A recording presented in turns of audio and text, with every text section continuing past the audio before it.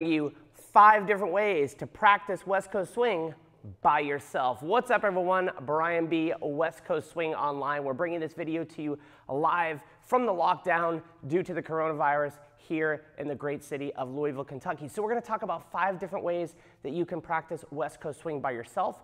Now we've put out a lot of videos with a lot of different techniques and things, so you're gonna hear a little bit of the same stuff, but I wanted to make sure to give you guys um, something that's a little different in a way to approach this. And as I was thinking about this class, I hit on something that my ballroom coach uh, talked to me about years ago, and that really made a big difference in my, in my dancing a long time ago. So we're gonna cover things um, rolling through your feet. We're gonna cover uh, pattern things. We're gonna talk about ways to improve your spins connection, uh, your smoothness, and then I've got a little bonus for you at the end. So this is also a live interactive class. We're gonna keep rolling, but please send your questions in as early as possible. We will try to get them in as we go. How many people are joining us tonight, Mr. Benjamin?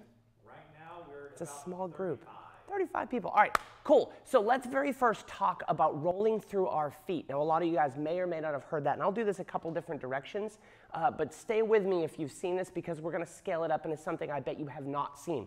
So we're talking about rolling through my feet. If I'm moving backwards, rolling through my feet would be literally rolling from the toe of my foot through the ball of my foot through to my heel. So if we did this again moving back, we would trace our foot across the floor. So this alone is a good practice drill. Then as we take our weight, I'm gonna roll from my toe to my ball into the heel of my foot. And if you notice, my weight hasn't completely committed to that. I'm gonna move my weight across. So as I roll my foot, as my knee passes, I'm gonna roll into the ball of my foot. And you can see I'm holding my weight into my heel and I'm gonna roll into this, right? We're gonna thread a lot of different concepts through this. So let's just do this again. We're gonna pull the foot back. When my knees get together, I'm gonna roll my weight into the ball of my foot and then onto my heel. I'm gonna roll through and then onto my heel. I'm gonna roll through and then onto my heel. Cool, so we'll do it back the other way. So this will also introduce something called rolling count. So rolling count can be an ambiguous term that we hear about in West Coast Swing. Really, it's a movement concept that applies to all dancing. So if we walked back four beats, one, two, three, four, which is something very common, at least two steps back for the leader. What I want to do is think about and. And is my foot passing underneath me. The uh is my foot progressing ahead of me. And then the one is where I actually take weight. So I can think of this and a one and a two. If I did it one more time back the other way, we have and a one and a two. And if you notice, I'm very smoothly transferring my weight. And I know that might be simplistic, but we're gonna show you a drill to be able to put that straight to music and with your patterns. So the same thing going forward, I'm gonna give you guys two different options. As I'm moving my foot from behind me to forward, I'm gonna pass underneath my body and I'm gonna reach my foot in front of me, right? Now I've got two options. At this point, I can either roll into the ball of my foot. If you guys have watched Miss Megan dance, she rolls into the ball of her foot more often than not right? So I'm stepping into the ball of my foot. The other option, and probably the easier one, and the one that we actually teach more because it's a little bit more intuitive, is to roll this foot out in front of you. As it gets in front of me, I'm going to move this from the toe of the foot to the heel, slight heel lead, not a big heel lead, but a slight heel lead. Now I'm going to measure my weight rolling from my heel into the ball of my foot, right? I'm to trace my foot, heel into the ball of my foot heel into the ball of my foot. So if we do that forward using our rolling count, we have and a one, and a two, and a three, and a four. Now that seems overly simplistic, but if we break dancing down, all it is is organized walking, right? So the control of our weight through our feet is very important. So you can practice that drill moving forward and back. And we're gonna move fast through this video. We've only got 30 minutes and I've got five topics to cover. Second part of that is we're going to practice our triple steps. So if we roll through our feet in triple steps, and I'll do this sideways so you can see the weight commitment, I'm going to roll into the ball of my feet for my triple, and then I'm to step to the side for my step. So I roll triple step, triple step. So if you're doing that with me, that's pretty basic, right?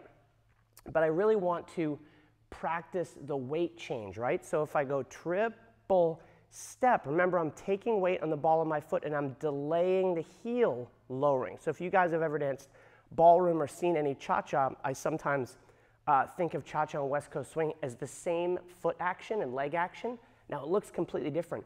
What's the difference? In cha cha, I would articulate into the ball of the foot, into the heel really quickly, and I would spend all of my time using my hips in the step, right? So if I did that triple step, four and one, I would step immediately into a flat foot, right? The same action of my foot, but the speed at which I do it with really makes a difference. So if I'm thinking about West Coast swing, I'm gonna go one and two and three and four and. So it becomes much more about the legs and the knees, less about the hips. Cool? So right now we've got a walk and we have a triple. Do we have any questions so far? No, no questions so far. Here's where I'm going to blow your mind. This is the part that you might not have seen before. We are going to change. Miss Emily's running to get music, but I'm first going to set this up. So we're going to practice this. And as I was thinking about this class, I wanted it to be very practical and dig into something. If I were to redo this and have to practice for West Coast Swing on my own, knowing what I know, what would I do? Great. Rolling through the feet, rolling count, articulation of the feet. We've seen all this stuff before, but how do I practice it by myself? So first I'm going to give you a drill. Let's count it first because we're going to change the timing of it because we're going to marry two things. Number one, this slow, boring, dry practice, and number two, dancing it to speed. And so what our goal is, is to master it slowly, but then we have to close the gap to dancing to speed. We have to close that gap, right? Because when we learn things, the music moves fast and we sometimes can't apply them. So here's the drill.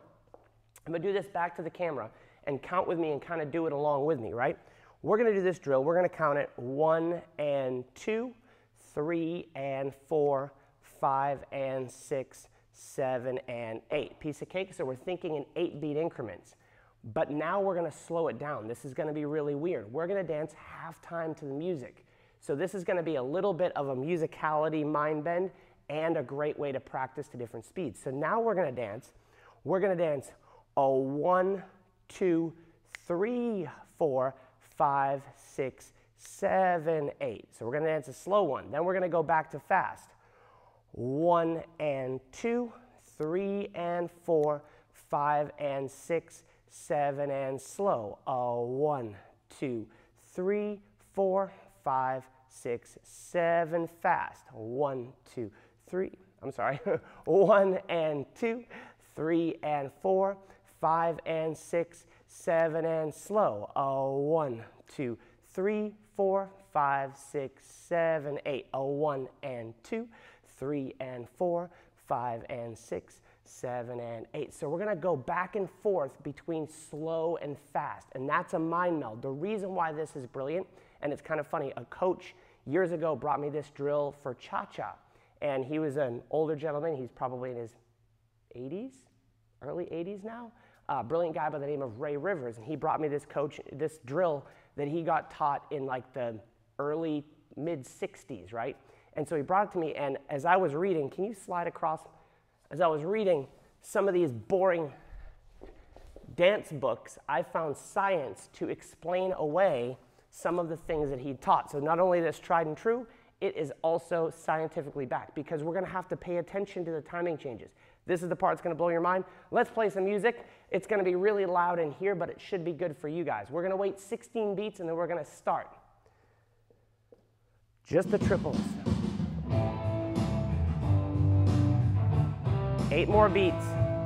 One, two, three, four, and five, six, starting fast. One and two, three and four, five and six, seven and slow. Oh, one, two, three, four, five, six, seven, fast. One and two, three and four, five and six, seven, now slow. Oh, one, two, three, four, five, six, seven, fast. One and two, three and four, five and six, seven and slow. Oh, one, two, three, four, five, six, seven. Two more times. A one and two, three and four, five and six, seven. Now slow. Oh, one, two, three, four, five, six, seven, eight, one, and two.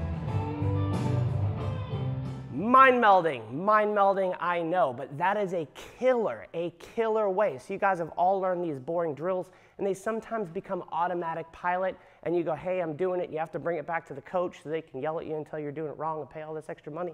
But that is a great way to walk through something. Now, you can apply the same thing, the same concept of dancing fast and slow to all of your different patterns, right? So we've talked about um, we've talked about our walks. You could apply this to the walks, right? I don't have all the room in the in the world, but I can dance one, two, three, four, five, six, seven, eight, and then I could do it slowly. One, two, three, four, five, six, seven, faster. One, two, three, four, right? So you're working between fast and slow music. That is an excellent way to drill things. But if we, t- oh, we got comments. What do we got for comments? I can. If you guys come, so they're talking about the weather and bats on the live feed. So if you guys are coming here to learn something fantastic, if you come here to be entertained, fantastic, because that's what we're here for. But I'm going to try to be an official dance teacher because I don't know much about the weather report for the rest of the week or much about bats. So if we applied this as a, we'll do fault, let's, let's start leaders footwork. I was gonna start followers. But if I did leaders footwork for like a whip, right? And I went one, two, three, and four, six, seven, and eight. If I took that rolling through the feet concept and applied it, right? I could roll through one. I could articulate and roll through for two. I could roll three and. And as I'm rolling through my feet, what I want to do is spin my foot to the new place and then roll it to the ground, right? Then as I do my triple, I'm rolling, rolling and stepping across. Then I'm rolling my weight into my foot and rolling my weight into my foot and being very particular. So if you could do that very slowly to practice the rolling to the feet, then you could do it halftime. Oh, one, two, three, four, five, six, seven, eight. Oh, one, two, three, four, five, six, seven, fast. Oh, one, two, three, and four, of five, six, seven, and slow. Oh, one, two, three, four, five, six, seven, eight. One, two, three, four, five, six, seven, eight. From the leader's perspective, mind melding, but if you're practicing alone, you're dead serious, that is exactly what I do. Same thing from the follower's perspective. We're gonna dance obviously fast. One, two, three and four of five, six, seven, and eight. And as you're going through that, you're starting to think about the articulation of the foot, whether I'm rolling through the ball of the foot or the heel, your choice. I like the heel, it's easier. But I'm thinking about rolling through one. As I'm stepping back, I'm thinking about rolling through for two. I'm rolling three and, right? I'm stepping forward and delaying for four. I'm pivoting around, rolling through for five, back for six, seven, and eight. And then I can do the same thing, fast and slow. Fast, two, three, and four, a five, six, seven, and slow, a one, two, a three, four, a five, six, seven, eight, a one, two, three, four, a five, six, back to fast, a one, two, three, and four, a five, six, seven, and eight, and slow, and so forth. We have a question. Yes. Um, are your feet skimming the floor between rolls?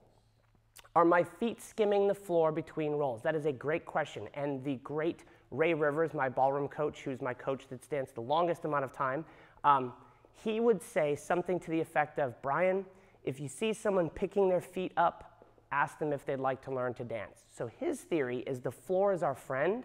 So if we're picking our feet up from the floor, we're losing the one thing that we have to work off of.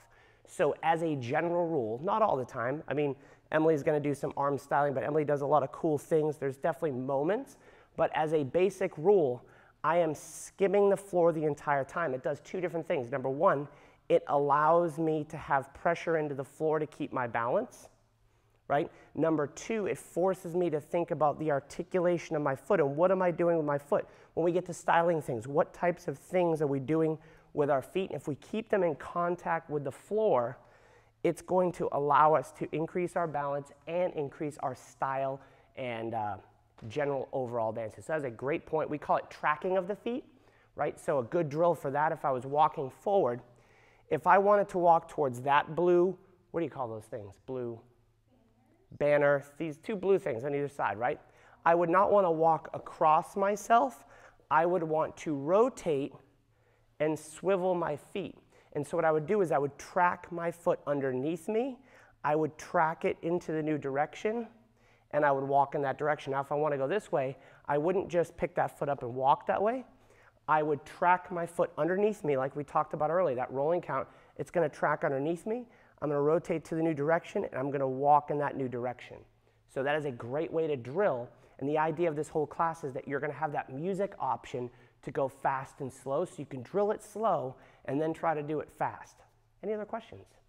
Cool. So if we take that same concept, right? We've talked about rolling to the feet. We've talked about triple steps, which then you could apply. We don't have time here, but you could apply it to all of your basic patterns run through your whips, run through your side passes, and run through your uh, pushes, sugar pushes. Um, but if we took that from a spin perspective, now I know a lot of the leaders don't spin, but it's vital that us as leaders, we either, you can practice along for sure, but you're not going to have to apply it as much.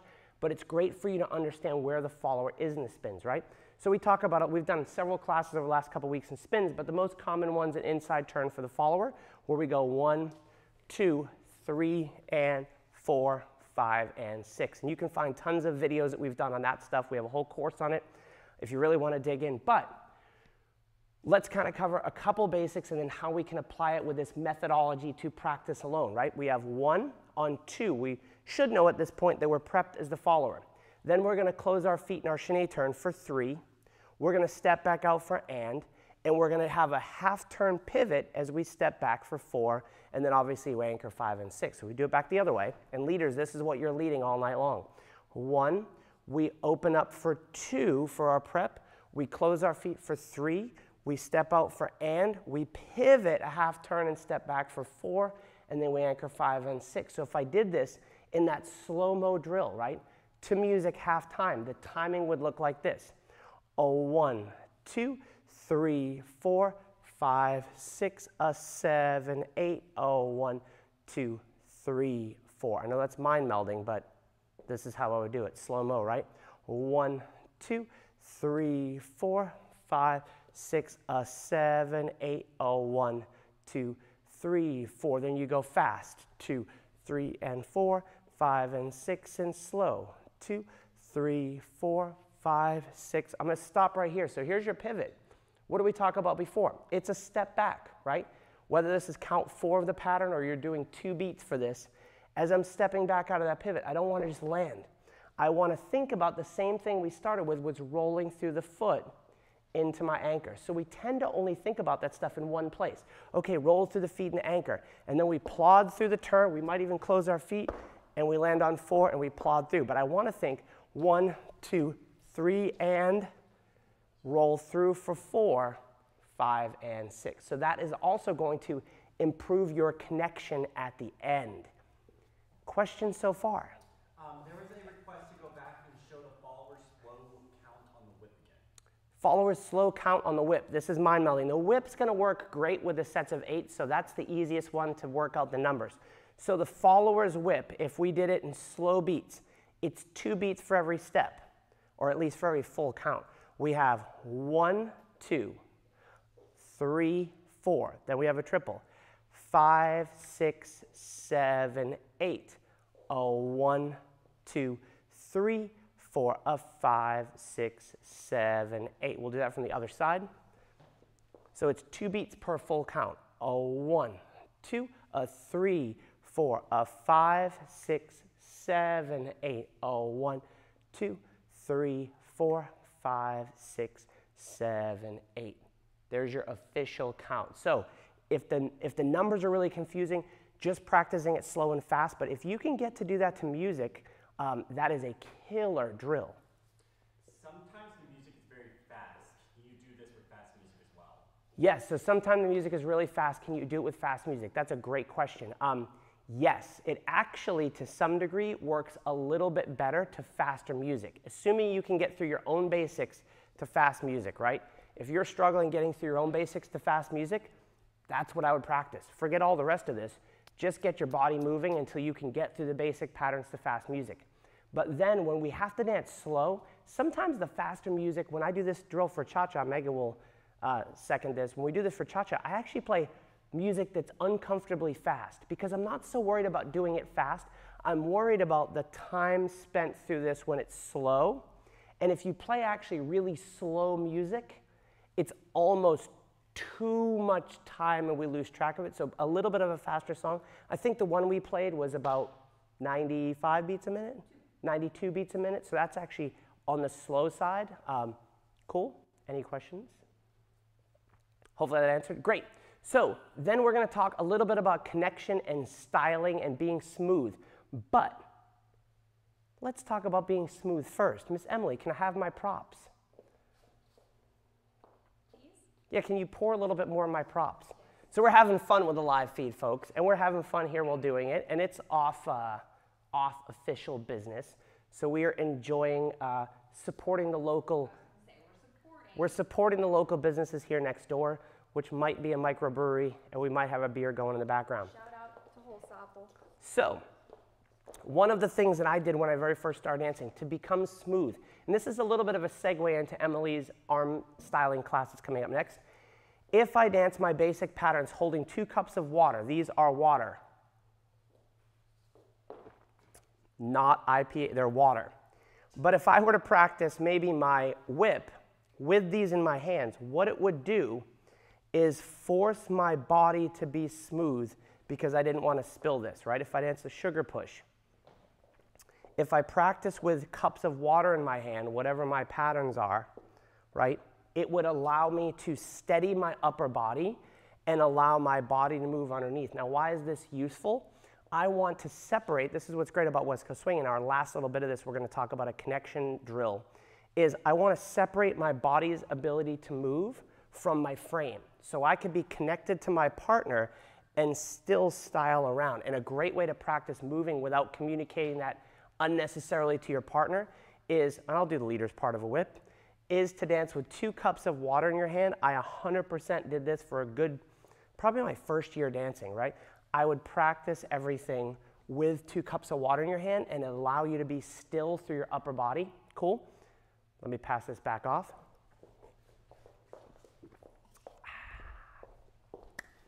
I did not have a sip of my water. Anyways, so that's a great drill. Next part, I'm gonna pull in Megan has talked about this on previous things. This could be a doorknob. This could be, um, she uses a TheraBand. Is it TheraBand? Is that what you call it? I call it a Dynaband. Dynaband. I actually like something, this was perfect, and I was doing this actually with the camera stand before we started. Something that I can grab onto. So what I want to do here is, I want to practice being connected to this and maybe doing my triples, right? Just underneath me, this could be leader or follower. And I want to add a little bit of connection to that. And if I do this back to the camera, from a styling perspective, especially on your anchor steps, I want to cultivate the ability of leaving this connected, right? And being able to move to the one side of the slot or to the other side of the slot, right? So I'm going to do this at a different angle. This could be a doorknob. What did someone say? They brought up a, a, a refrigerator. That's probably ideal, right? The reason why I like this is I can apply an amount of pressure to this, and I actually rigged this up with a little bit of weight here. There's a Coke cans. Hope I don't smash them again this time if you guys saw the spins video, right? So I can apply a little bit of pressure to this because in a connection scenario, you'd be, you'd be applying a little pressure. So this could be a uh, refrigerator where I can apply a little bit of, of a pressure and I don't want to open the fridge door. So I can practice dancing to it. I can practice moving away. I think it's most useful moving out of the slot with both sides. So I can use triple steps if we did this from behind. So triple step, triple step, triple step. And then one that I found really useful was if I'm stepping across this way, I want to use a little bit of this pressure to swivel myself across. So we talked about tracking the feet. So I'm using a little bit of pressure to swivel myself across and step. Now I'm pushing on this with a little bit of pressure, right? And I'm using that connection. Now, this is going to give me feedback. That's why I like the cups of water. It gives you feedback. If your upper body is unstill, you're going to end up with sloshy water on your bedroom floor. Ask me how I know. True story. 1997. Right? But this will give you feedback. If you're using the connection too much, you're going to push that over. Does that make sense? So find something that's stable. You can practice swivels, and I can practice applying a little pressure towards it as I swivel and a little pressure away as I swivel. So that will let you explore your styling. You can take some of Emily and Megan's anchor step drills and things like that, connect to this, and this will let you explore your styling while you're practicing your connection to your partner. Another question. Can you steal this, please, Emily? Can you explain the relationship between the lead and the timing of the follow landing on their foot? Can you explain the relationship of the lead and the follower in the follower landing, the timing of them landing on their foot? Yeah, so this could get super philosophical, right? As a leader, well, I'm going one, right? So what's going on from the follower standpoint? The leader's leading and I have to step on this.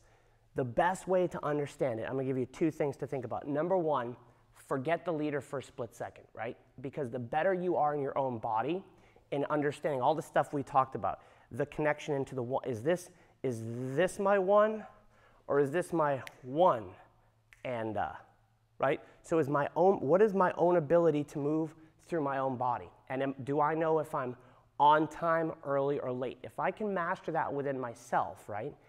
Then on the other side of the connection, the leader is going to be going, let's assume he's Mr. Metronome perfect. He's going to go and a one. That's going to be his lead. So in a perfect world, can I steal you, Miss Emily? So in a perfect world, if we're anchored back, right, this is going to be tracking and her foot's going to be tracking so that we can monitor our ability to move through our foot, right? Perfect. That's perfect. And then we'd step on the next foot. And if I am dancing like a sugar push, I'm going to step short and she's continuing into that, right? So that's perfect. Thank you, dear. But in reality, it never works that way. So the second part of that is the, is the ability of the follower to go, hey, I know how I want to dance onto my foot to be comfortable and on time and clear. And now, if the leader is leading me too fast, I want to develop the ability to stay connected, right? Actually, can you lead me? Yeah. Right? I'm going to make you the bad boy. So Emily is leading me too fast. She's clunking onto that, right? But I know she's a little early. So what I've done is cultivated the ability to stay connected with my fingers, but still manage myself through my foot. So the ability to, as Miss Emily moves too early, right, she's still feeling a connection, and I still get there at the time that I need to. Does that make sense? Thank you, Miss Emily. There's requests for the flip side of that, so you emphasize the follow side of that to the leader side as well. Yeah, so the leaders. I think the leader is actually slightly easier, right? Because we're initiating and asking for the follower, but we are not hopefully driving it. So as the leader, I'm kind of getting in this position saying, hey, would you like to come with me, right? If she's not coming with me, I might say, I might tighten up on this just a little bit. But be careful as the leader. I don't want to start to drive to my arm because the rule is my arm can move much faster than your, her body, right? So as the leader, I'm kind of going like this and I'm kind of waiting slowly. And I'm paying attention on the first couple passes in a dance to see is my follower responding quickly, right? Or is she a little bit slow? Let's say the follower is a little bit slow. I might actually dance everything much smaller because my follower isn't moving aggressively or comfortably or confidently. So as a leader, I might do the same process, but instead of dancing two normal size steps, I might actually dance very, very little because I know the follower isn't responding the way that I want. Because the flip side of that is I can start to pull and drive that. And again, another ballroom coach taught me this. The more that we don't get as we want as leaders, the more we start to push and pull, and then we just kind of create our own problems. Cool. Any other questions? Good deal. I had a bonus for you. Here's the bonus. Another thing you can do, just dry that whole thing out. Just take the booze out. Oh, forget it. You'll see our booze. As I was thinking about this class, and I was thinking about all the different things, like what can we do while we're stuck at home? You can read cool stuff. So here's just a bunch of stuff I grabbed off my uh, uh, uh, out of my guest room because I put all my smart kid looking books in, uh, classes and the books in the guest room. The Talent Code by Daniel Coyle, um, Outliers by Malcolm Gladwell, The Psychology of Dance by Taylor, two Taylors, CC and Jim Taylor, maybe they're married. Um, Talent is Never Enough by John Maxwell. If you're a partner dancer and you have a partner and you compete together, dance to your max. This is hard to get. It's Maximilian, some guy, foreign guy. Um, again, um, this is a little bit out there, but um, thinking, sensing, doing, if you're like a philosophical type person, and if you're a total nerd, I know there's a lot of uh, uh, engineer types who dance. If you want to nerd out on the science, I read all these books and then I wanted to read the science behind them and the studies. This is the Expertise and Expert Performance, the Cambridge Handbook of Expertise and Expert Performance. So you can nerd out with some books. And these days, books on tape. But I gotta go, because Emily's class is up in two seconds. Love you guys. Visit us, westcoastswingonline.com. Stay safe, wash your hands. We'll see you soon.